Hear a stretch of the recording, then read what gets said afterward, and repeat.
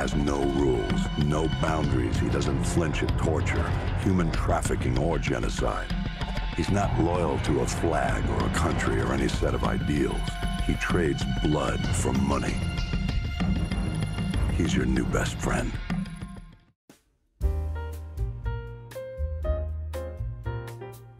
With over a thousand monsters to choose from in D&D, it can be hard to know which ones to use, and even harder to know how to play them. What weapons do they favor? What tactics would they use? How do they interact with other types of monsters? These are all questions that can come up to DMs that are looking to make their combats more enticing for their players.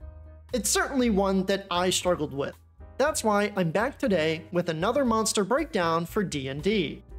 Hello again everyone, I'm Bill from Altrole, and today I'm going to dive into a brief history of a D&D creature, how that history was adapted into 5th edition, and how this lore can help game masters make their combat encounters better. So, whether you're here for the cool lore breakdown or for the combat tactics, I'm hoping to give you a lot more to chew on when it comes to the monsters we face in D&D. For our ninth episode, let's examine a monster that's so fierce that even orcs won't ally with them. The Gnoll. Gnolls were first introduced to D&D in 1973 in Book 2 of the OD&D White Box set. Believed to be inspired by Gnolls from The Book of Wonder, a collection of Irish fantasy stories written by Lord Dunsany, Gnolls are humanoids with the head of a hyena. Back in the 70s, Gnolls had little purpose beyond just being another creature for the players to kill. Their original lore stated that Gnolls were just a cross between gnomes and trolls, a joke background relying on clever wordplay. Over the various editions of D&D since then, more and more has been written about gnolls that's fleshed them out into an actual race of monsters, introducing things like their relationship to the demon lord Yeenoghu, their pack-driven society, and other Gnoll variants, like the Flind and Pack Lord. In 5th edition, Gnolls are feral humanoids that attack settlements along the frontiers and borderlands of civilization without warning, slaughtering their victims and devouring their flesh. Originally spawned from regular hyenas that feasted on the slaughter left behind by the demon lord Yeenoghu's rampage across the material plane, Gnolls were scattered to the wind after his banishment back to the Abyss. Since then, they move in packs, raiding and pillaging settlements at random before returning to the wilderness. Attributed to the influence from Yeenoghu, Gnolls are the epitome of evil, with absolutely no goodness or compassion within them. They cannot be coerced, reasoned with, or paid to spare anything or anyone caught in their path. Their bloodlust is so great that when they don't have a common enemy, they'll even begin fighting amongst themselves to satiate their thirst for destruction. They relish the slaughter more than the fight, though, and when choosing a place to raid, Gnolls will favor easy or unsuspecting targets. They'll descend upon remote villages and farms to destroy and devour anything left in their wake, but will avoid fortified strongholds, castles, or anything that might put up a reasonable defense. As such, the greatest way to avoid a Gnoll warband is to hide away in castles and cities, hoping that they move on before the destruction gets too bad. As part of their nomadic raiding nature, Gnolls don't create anything of value for their society. They rarely build structures beyond basic defenses, scavenge weapons and armor from their victims, and see little value in the finer things in life. Their definition of art, for example, is tying ears, teeth, scalps, and other trophies from their defeated foes onto their patchwork armor.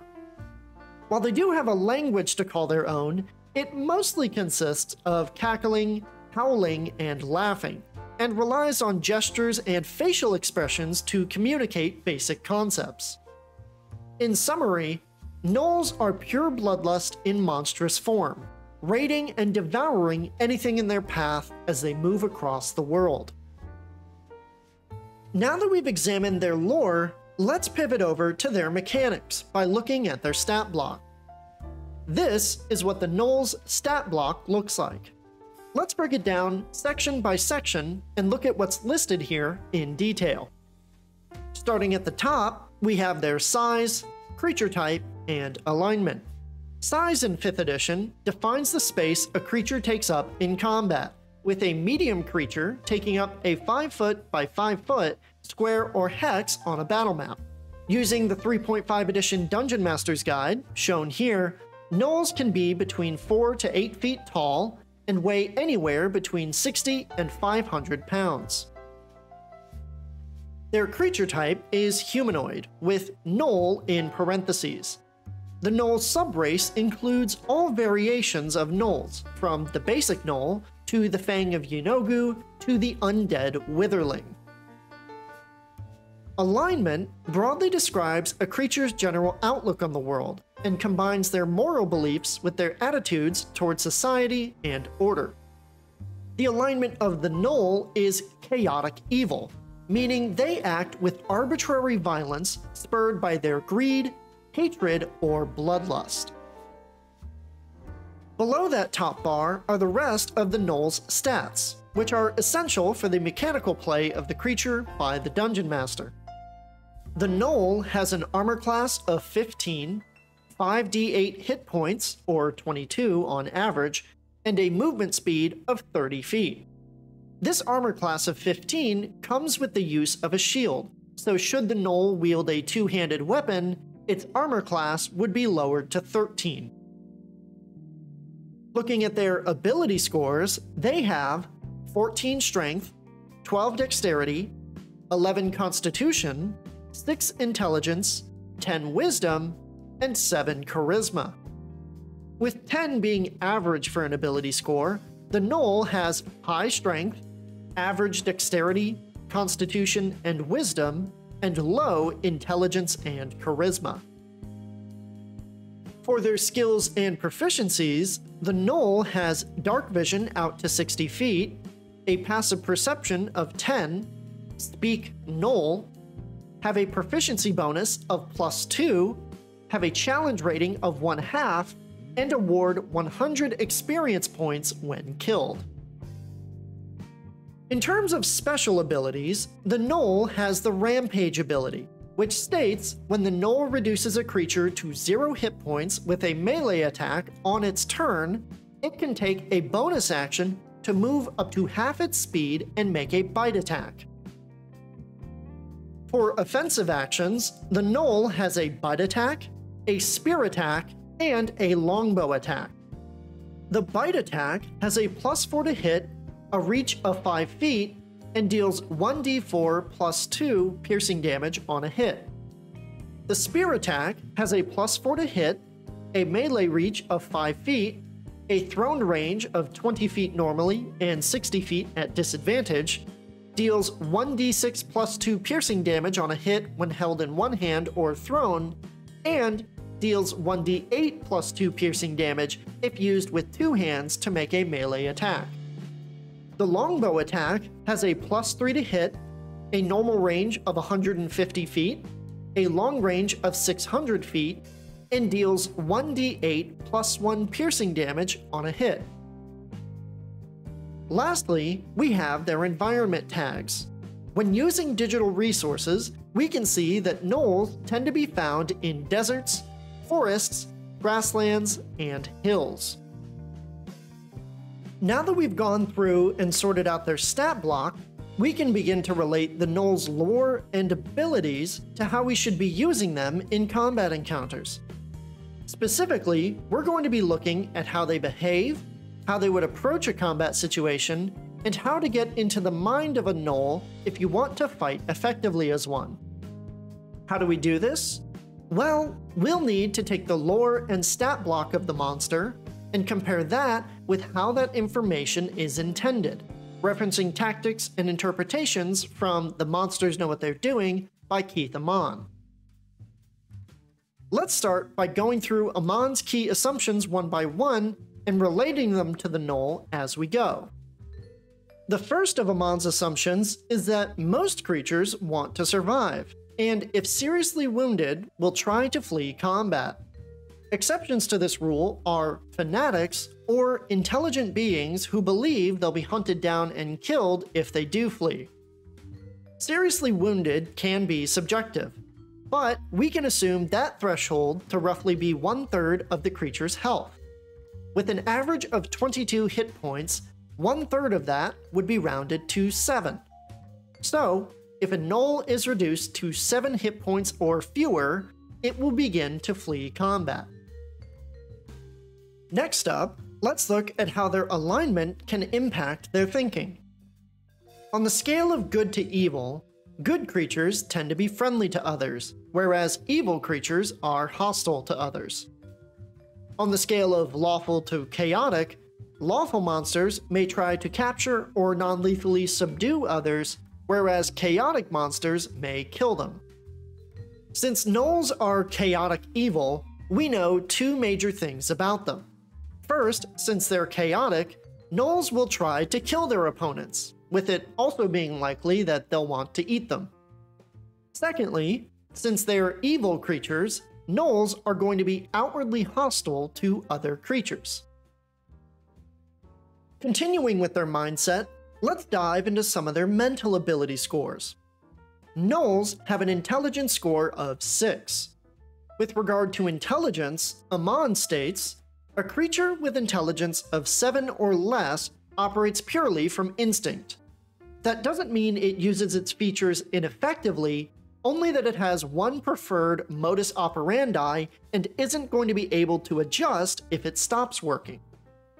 This just means that the Gnoll's preferred method of attack is charging straight forward at an enemy in a bloodthirsty rampage, substituting intelligent tactics for fearless aggression. When it comes to wisdom, gnolls have a wisdom score of 10. With regard to wisdom, Ammann states, a creature with wisdom of 8 to 11 knows when to flee, but is indiscriminate in choosing targets. As stated in their lore, gnolls are opportunistic and aren't going to look for tough fights. In combat, they'll look for the easiest targets in battle and are likely to turn tail once their target starts fighting back.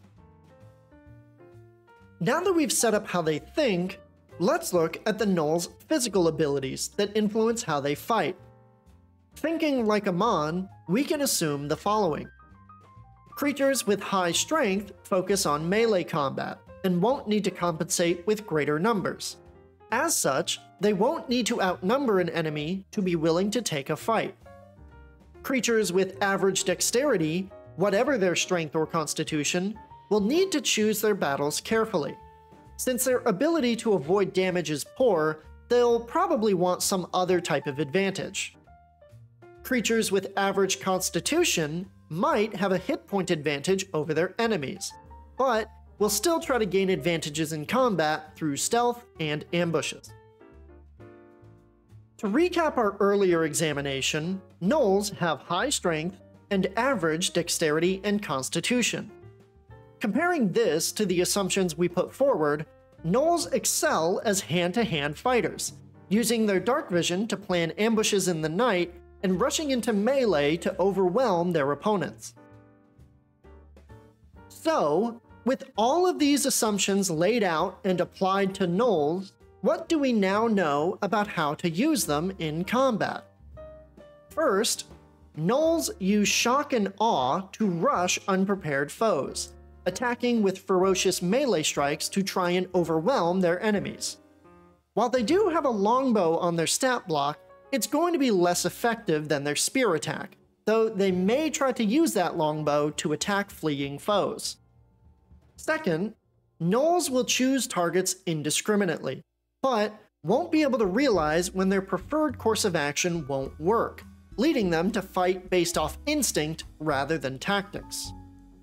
Third, Gnolls will use their full movement speed to get within range of their target and attack with their spears until the target is down.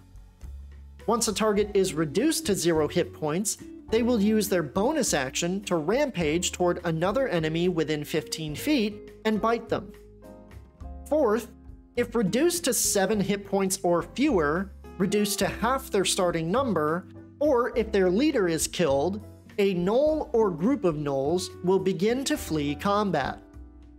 Given their ferocity, gnolls who are forced to retreat will likely try to regroup and attack again later with more forces, though they're just as likely to move on to easier targets as well.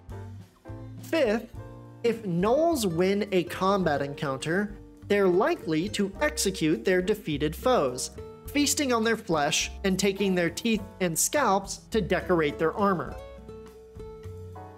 And with that, we come to the end of today's video on the Gnolls. A largely overlooked enemy, Gnolls are a good mid-tier opponent for adventuring parties, though their nature as purely evil and bloodthirsty does make them somewhat simple at times. However, what I want to know is, what do you think of the Gnoll? You can let me know in the comments down below, or you can join the Altrole Discord using the link in the description to discuss it there. While on the server, you can pop into our courses that teach the basics of D&D, and if you like what we do here, supporting us on our Ko-fi goes a long way in helping us keep Altrole going. That's all I had for you though, so thank you all for watching, make sure to have a great rest of your day, and I'll see all of you next time.